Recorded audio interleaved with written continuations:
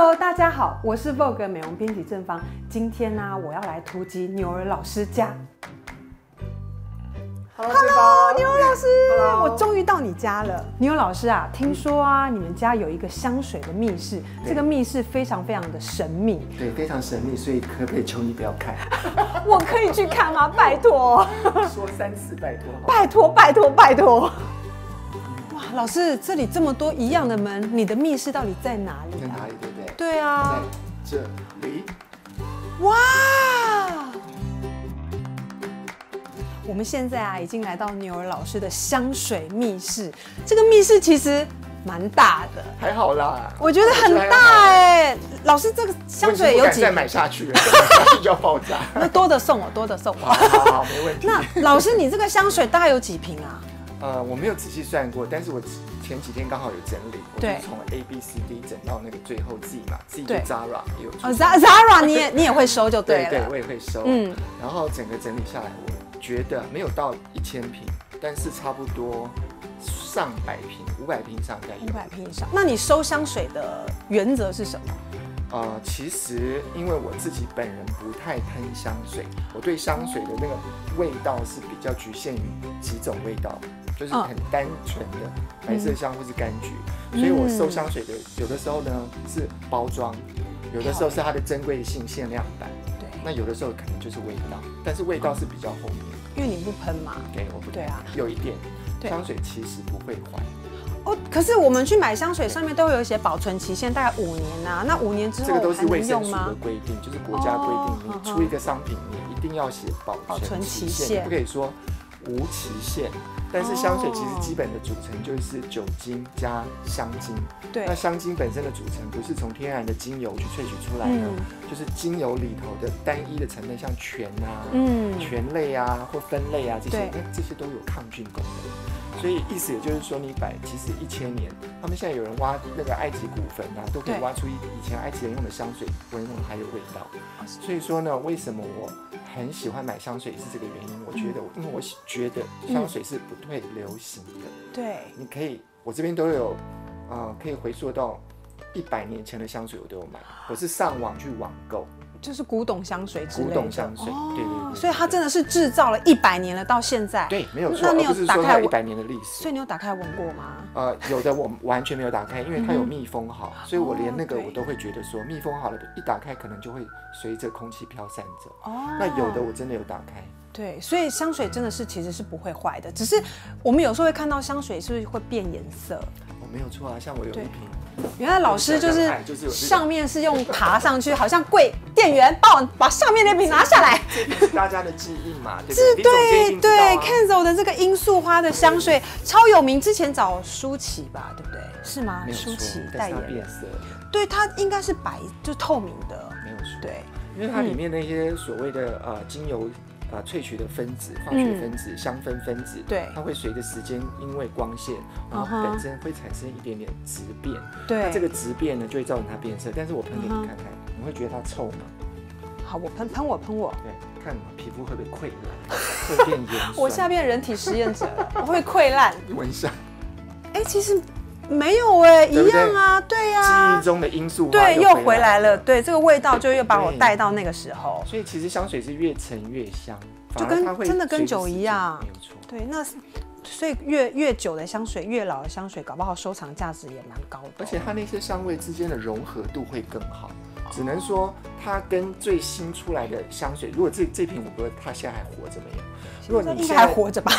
还活着，你马上买一瓶最新的罂粟花，你来闻闻看。会有一点点不一样。哦因为呢，时间久了，这些香味分子呢，就像酒一样，我们啊会有一些讲越陈越香。对，就它融合出来的味道，跟你新买的那个味道，嗯就像威士忌有十二年、十八年，对，会有一点点差异。哦对，但并不是说越久真的就是那个香越好，那真的是个人啊。没错没错。老师，另外啊，在我们的 Vogue 粉丝大调查里面啊、有超多人在问香水到底怎么喷，怎么可以让它持久？我知道这个问题很基本，可是真的很多人还是很关心到底怎么喷呢、好，有几个原则。第一个原则呢，你只要避开脸部，你爱怎么喷就怎么喷。哦所以这题香奈儿曾经讲过，你只要想被亲的地方，嗯，都可以用香水。可是呢，哦我自己的私人的建议是这样子，就是因为我们喷香水是要自己闻，那有些是给别人闻，有礼貌的感觉，对不对？对。所以说呢，你最好是喷在这个地方。这是喷给我们闻还是别人闻都可以？我们都可以，因为我们这样子马上就可以闻到，对不对？我们手动作之间，对，然后跟别人接触，我们也是手先伸出来，对对对对对，然后别人马上就可以闻到，所以这是第一个我建议喷的地方。对，那第二个我比较建议喷的地方，也是我自己最常喷，就是这里，就是后脑勺、头发跟脖子。那特别是头发，因为我们头发呢比较不会沾到皮肤。对，它不会沾到皮肤，它不会被皮肤吸收，它直接在头发上慢慢的挥挥发。对，那特别是有些高个子，你自己矮个子，你想想看，在电梯里头，有人在你后面，他就闻到你这边的发香。啊有一个大帅哥，欧巴出现这么高，欧巴很重要，闻到你的头顶。对，是前天没有洗的这个头头头皮味呢，还是你希望他闻到的是你的发香？发香味，对哦，所以最推荐这样。那所以不是要。大家不是都说要喷在脉搏跳动的地方他们所谓脉搏，就是因为会稍微让它挥发更多一点。对对。事实上，香水现在基本上都有含酒精成分，基本上都会挥发出来。所以脉搏可以用，但是不是主要的位置。但是记得就是不要搓，因为你越搓呢，香水呢就越变成保养品吸收进去，而不是让它。散发出来，对，因为用香水跟用保养品不一样，保养品是要发吸收，就是到肌肤里面发生作用，可是香水是要挥发出来，让人家闻到这个味道。对，可刚以前法国人有教过啊，他说对。香水最好的方法，对不起啊，要拿这个好的。古老的味道，他说最好就是哦，就是穿香水穿穿进去这样子，这叫穿香水，就是说你完全那个香水只是粒子附着在你的皮肤，你完全没有去搓揉碰。对，哦，这味道真的是好。好复古哦，好复古。等一下，我们介绍一些新的。对，我们不要不要老是古。对对对，那有一个粉丝说啊，就是如果想要让香水比较持久，它其实可以先涂凡士林，凡士林又出来了，然后再喷香水，这样香水真的比较持久吗？啊，真的比较持久。哦，真的吗？为什么？其实呢，以前也有一个习惯，就是抹在耳后，因为这边其实会有油脂分泌。那其实这些地方呢？呃，就是你一旦有一层油脂，就像你擦了凡士林，你再喷香水，那个香水呢就会被凡士林阻隔，然后呢直接挥发出去，不会吸收进进去这样。对，所以它有点像是一个保护膜，就对了。对。可是如果说呢，你完全没涂的话，有些人皮肤因为比较干燥，对，你可能就真的吸进去，吸进去的呃结果就是，不但香味没有出来，反而因为可能这个香味直接刺激你就过敏。哦，也是对。对，香水里面很多成分可能也是致敏源。对，那为什么不能喷脸？就这个道理。那你知道有哪些香精的香水成分比较有可能？比较尴尬就是柠檬柑橘类，但是我告诉你，几乎每一种香水前味都是用这个柠檬柑橘，哦，所以就是这个原因。那特别有些人对酒精又是。对，会会会敏感，所以酒精加这个柠檬柑橘这一类的佛手柑，特别是。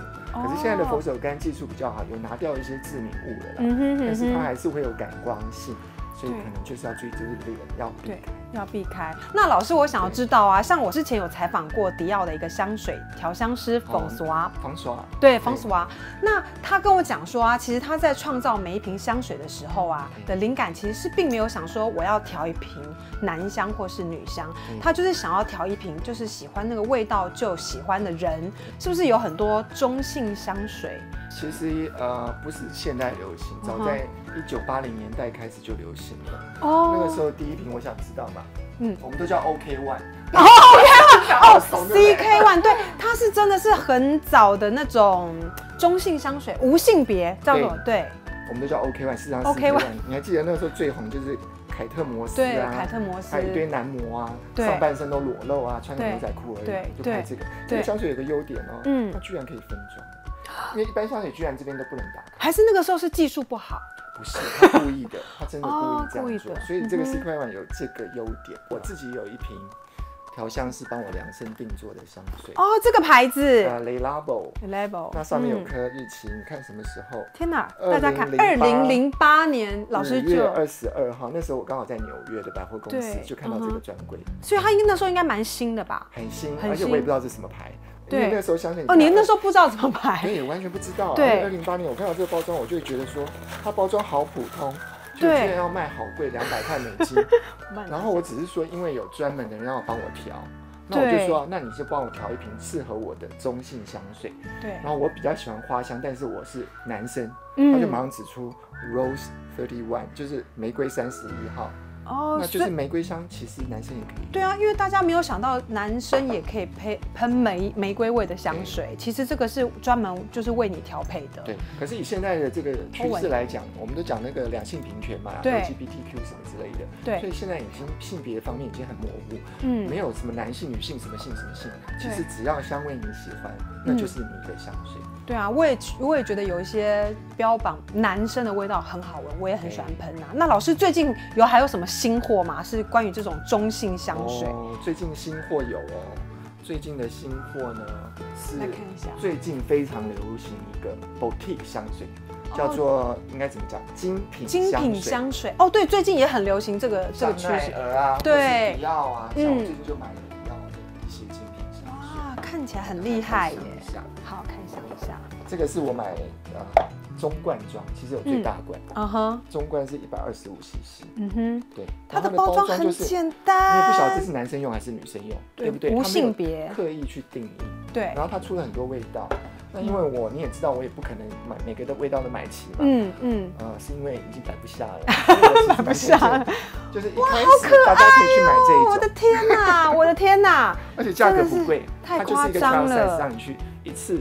嗯，就可以尝到一二三四五六七八，对，八种精品香水的味道。哎，它这个这个这个，我真的觉得像以前的这个香水，你看它取名字多好听，叫 Lucky 啊，一感觉就是觉得擦了金会带给我对就像那个好姻缘，这个就是 Lucky 这样子。好的，所以它也是不分男女就对了，没有分，对，真的没有分，没有分男女。那另外啊，我想要知道老师。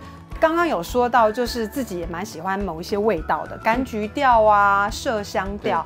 然后我听说你也对某一种味道也蛮蛮喜欢的，就是无花果。因为我自己也很喜欢无花果，是我逼老师一定要介绍无花果香水，因为我自己也很爱这个味道。嗯，那老师有哪些无花果香水味道？无花果最有名的就是 k 对哦，对对对，李总监一定清楚。呀呀呀，没错没错，我真的很喜欢无花果味道，就是。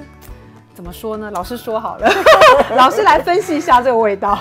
它就是有一种没有侵略性，嗯，然后呢，它不是酸，它有一点淡淡的甜加香草的那种感受，但是又不像香草那么的腻。对，然后它有温暖的感觉。对，温暖的感觉。对啊。这样不晓得有没有办法。反正因为香水就是还蛮主观的啦，因为如果你喜欢这个味道，你就。你就知道是那首那种感觉。那还有，我上次好像也有给你开箱过，这是我还没有用完嘛。那时候我自己在南发调的，就是对牛耳的天堂香水，然后编号九八四四三，也就是我这瓶用完，我再去那个地方，他还会照这个配方做给我。所以它呃九八四四三是它的配方，对，所以那个秘密放在那儿是我的我调的哦。是我的专属，所以它也是无花果的味道。对，因为我调了百分之五十的无花果。你那时候是真的也是爱无花，要要要要要要要。好，你觉得哪个比较无花果？这一瓶比较无花，还是这瓶比较无花？无花果。花和尚。